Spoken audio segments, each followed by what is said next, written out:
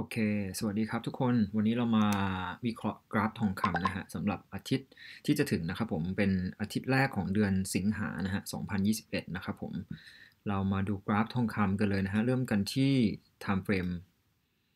week นะครับผม week ที่แล้วเนี่ยจบเป็นยังไงบ้างนะฮะ เรามาดูกัน week ที่แล้วเนี่ยจบเป็นแท่งเขียวนะฮะ ก็คือ พฤหัสสุกเนี่ยอย่างที่เห็นพฤหัสเนี่ยมีแรงซื้อขึ้นมาค่อนข้างเยอะเลยนะฮะอยู่ที่ 3,000 จุดนะครับผมอยู่ประมาณ 30 เหรียญนี่นะฮะนี่คือของวีคที่ผ่านมานะฮะแล้วก็วีคก่อนหน้าเนี่ยจะเป็นขาลงนะครับผมตามที่เห็นเลยนะฮะแล้วก็โอเคเรามาดูที่ time frame day นะครับผม day day เนี่ยก็คือวันพฤหัสอย่างที่บอกนี่นะฮะวันพฤหัสเนี่ยเป็นแท่งเขียวมาทั้งแท่งเลย แรงซื้อเยอะมากผ่าน3,000 จุดนะฮะ แล้วก็วันศุกร์เนี่ยก็ได้มีการเทขายออกมานะฮะอยู่ที่ประมาณ2,000 2,000จุดหรือเปล่าขาดูก่อนนะฮะตั้งแต่ 1830 นะฮะลงมาจนถึง 1811อ่าประมาณ 2,000 จุดนะฮะหรือประมาณ 20 เหรียญนะครับ ทีนี้เนี่ยเรามองยังไงเรามองแรงซื้อเนี่ยดูนะถ้าเปรียบเทียบแท่งเทียนเนี่ยแรงซื้อก็ยังมีมากกว่าถูกไหมฮะแรงซื้อยังมีมากกว่า เพราะฉะนั้น จุดตรงนี้จริงๆเนี่ยถ้าเกิดเป็นมองเทรนเนี่ย ทุกคนก็อาจจะมองเห็นได้เลย ถ้าเป็นเทรนในกรอบใหญ่ปุ๊บมันก็คือยังเป็น sideway ในกรอบใหญ่ถูกไหมฮะเนี่ยปุ๊บปุ๊บไม่ยังไม่ออกจากกรอบนี้ถูกไหมฮะ เพราะว่าตัวนี้เนี่ยไฮของตัวนี้ไม่สามารถทำไฮเหนือวีก่อนหน้านี้ได้นะครับนี่ฮะเห็นสังเกตเห็นไหมฮะว่าวันพฤหัสแล้วก็โดนทุบลงมา เพราะฉะนั้นจริง ๆ แล้วตรงนี้เนี่ยก็ยังเล่นอยู่ในกรอบนี้ได้ กรอบใหญ่ตรงนี้นะฮะ เพราะฉะนั้นก็คือตรงนี้คือจุดกึ่งกลางเท่าไหร่อยู่ที่ประมาณ 50 ถูกไหมฮะ ของจุดวิโบ ตรงนี้เนี่ยสามารถเล่นได้ทั้ง 2 หน้านะฮะแล้วทีนี้เนี่ยเราจะวางโพซิชันในการเข้าเทรดยังไงอ่านี่เราต้องมาวางแผนตรงนี้นะครับผมเพราะฉะนั้นอะโอเค ตอนนี้วางได้ 2 หน้า เพราะฉะนั้นถ้าเวลาจะบายเราจะบายตรงไหน เราก็ต้องบายตรงต่ำๆถูกไหมฮะเซลล์ตรงไหนก็เซลล์บนๆถูกไหมฮะแค่นั้นเอง เพราะฉะนั้นเราจะไม่มาบายมาเซลล์ตรงกึ่งกลาง แบบนี้นะฮะถูกไหมฮะเพราะว่าเรา มันสามารถออกได้ทั้งสองหน้า ทีนี้เนี่ยเราลองมองลึกลงไปนะฮะทำเฟรมย่อยลงไปปุ๊บเราเห็นอะไรอ่าผมตีกรอบแบบนี้ เมื่อก่อนหน้านี้นะฮะเนี่ยจะเป็นเทรนขาลงเห็นไหมฮะชัดเจนก่อนที่มันจะเบรกกรอบลงมาตรงนี้ เมื่อคืน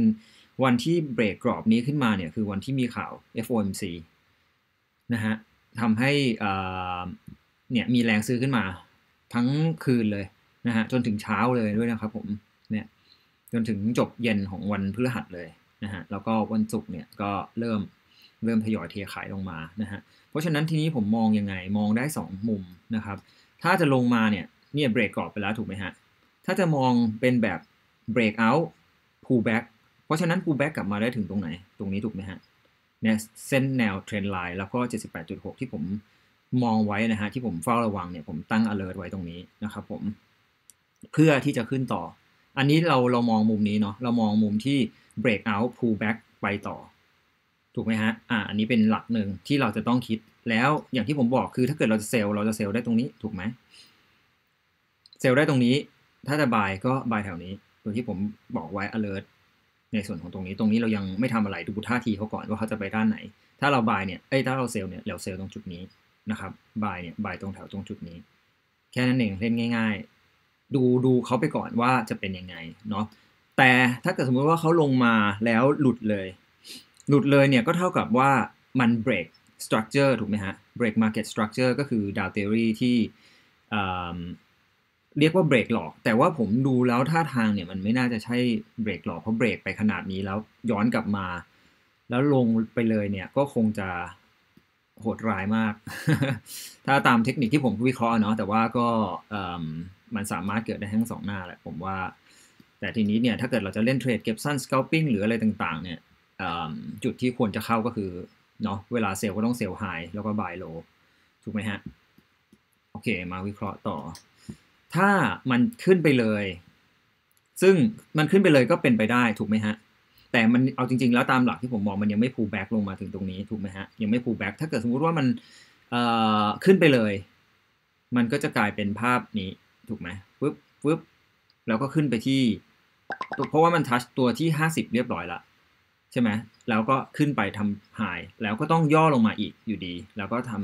ำทำขึ้นไป หรือถ้าเกิดสมมุติว่าเขาลงมาแค่ตรงนี้ถูกไหมฮะ แล้วก็มาไซด์เวย์ที่ตรงนี้ เราก็ต้องมาดูกันอีกทีว่าเขาจะเบรกไปเลยหรือเปล่า หรือยังไงเนาะเราเราผมก็ยังไม่สามารถรู้ได้ แต่ว่าเราแพลนล่วงหน้าก่อนแล้วว่า เราจะเข้าที่ตรงไหน แล้วก็ออกที่ตรงไหนนะฮะโดยโดยประมาณก็ต้องดูหน้างานด้วยนะฮะต้องดูหน้างาน แต่ว่าก็แพลนจุดบายแล้วก็จุดเซลล์ไว้เรียบร้อยละก็โดยประมาณนะฮะทองคำก็ประมาณนี้ครับผม โอเค ขอบคุณครับ